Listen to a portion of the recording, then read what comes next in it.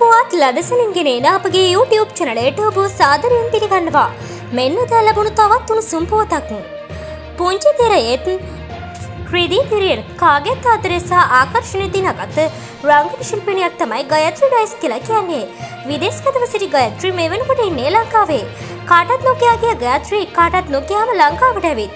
මෙහෙමයි අවශ්‍ය කරන වැඩවගේකට තමයි මම ගියේ. ඒ වැඩ කටයුතුටික ඉවර වුන් නිසා ආපව් ලංකාවට ආවා. ආපව් කවදද යන්නේ? තව මාස දෙකකින් තුනකින් තමයි යන්න හිතාගෙන ඉන්නේ. ගයත්‍රී මේ සූදානම් වෙන්නේ ලංකාව දාලම යන්නද?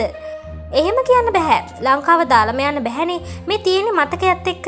නමුත් යම් යම් දේවල් මත යන්න අවශ්‍ය දේ සහ කරන්න අවශ්‍ය දේ මේ වෙලාවේ කරනවා. මට දැනට කියන්න තියෙන්නේ අද දවස ගැන විතරයි. හෙට දවස මොනවා වෙනවද කියන්න මම හරියටම දන්නේ නැහැ. දැනට රටවල් දෙකේම ඉඳීවි. කැනඩාවට නේද ගියේ? ඕ මම ගියේ කැනඩාවට. කැනඩාව ගෙවපු ජීවිතය එහෙම කියන තරම් විශේෂ දෙයක් නෑ එහිද කරන්න ගොඩක් වැඩ තිබුණා. වෙන රටක ඉන්නව කියලත් දැනුනේ නෑ ඇත්තම කියවනම් අති විශේෂ දෙයක් නෙමේ එකමදේ වැඩිම කාලයක් වෙනත් රටක ජීවත් වනේ මේ පාර. මෙවැනි උණුසුම් පුවත් ලදසනින් දැන ගැනීමට අපගේ YouTube චනලේ සබස්ක්‍රයිබ් කර බෙල්ලයි කන ක්‍රියාත්මක කරන්න.